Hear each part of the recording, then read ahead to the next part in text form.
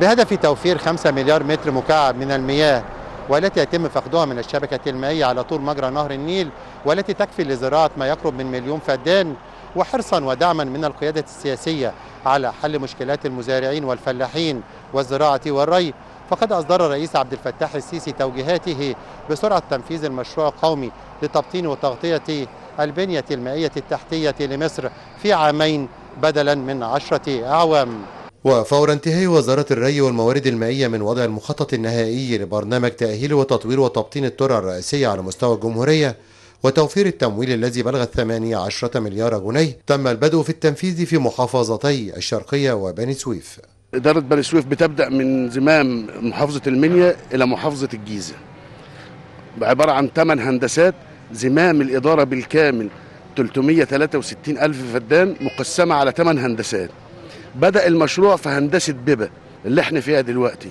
هندسة بيبا إجمالي عدد الترع اللي فيها المستهدف تأهيله 56 ترع. المشروع ده من ساعة مبادرة سيادة الرئيس ابتدى في شهر 3 2020 وهينتهي في شهر 3 2021 إن شاء الله يعني لمدة سنة. وإحنا واخدين مركز بيبا في محافظة بني سويف تبطين كل الترع بأطوال 180 كيلو متر وبادين من ثلاث أشهر يعني وعاملين حوالي تقريبا لغاية الآن 35 كيلو متر طول.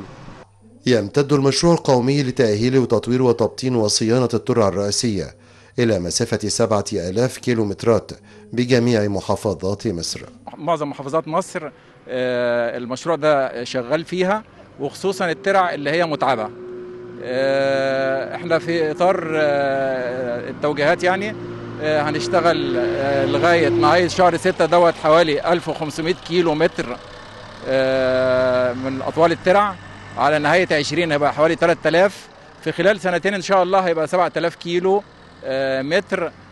من من الترع يعني وده المستهدف إن شاء الله. إحنا بنشتغل طبعا في في مواقيت الحظر بنحترم مواقيت الحظر مواقيت الحظر ما بنتعداهاش عشان كده مواقيت الحظر بنتبعها فبنشتغل على أكتر من موقع مع بعض عشان نلحق ننجز في المدة المسموح بها يهدف البرنامج القومي لصيانة وتأهيل الترع إلى ترشيد المياه في قطاعات الاستهلاك للمياه خاصة قطاع الزراعة. مشروع قومي لتأهيل الترع ديت ديت أعمال ضمان لوصول المياه للنهايات بالكفاءة المطلوبة وفي التوقيت المطلوب وفي الكمية المناسبة مما بيؤثر على الإنتاجية وعلى الزرع. فده من المشاريع المهمة اللي ساعدتني كتوزيع مياه في توصيل هذه المياه في نهايات الترع وخصوصا خلال فترة الصيف اللي هي فترة أقصى الاحتياجات.